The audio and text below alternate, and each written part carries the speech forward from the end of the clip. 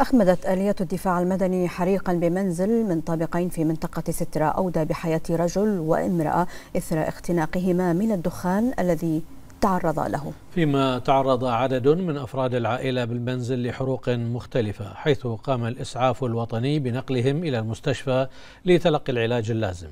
وأوضحت الإدارة العامة للدفاع المدني أن فرق الدفاع المدني وصلت إلى موقع الحريق خلال ثمان دقائق من تلقي غرفة العمليات الرئيسية للبلاغ وباشرت على الفور عملية إنقاذ القاطنين وإخماد الحريق. وأكدت الإدارة أن المعلومات الأولية تشير إلى أن الحريق كان بسبب عبث الأطفال بأعواد الكبريت ما ادى إلى اشتعال أحد المقاعد وامتداد الحريق إلى باقي أجزاء المنزل.